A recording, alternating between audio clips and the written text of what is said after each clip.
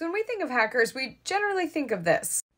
But I mean, sometimes they look like this. Okay, so authorities think that they may have found the Bitfinex hackers. Allegedly, it is this couple. Back in 2016, Bitfinex was hacked for about 120 full Bitcoin, which at the time was worth about $76 million.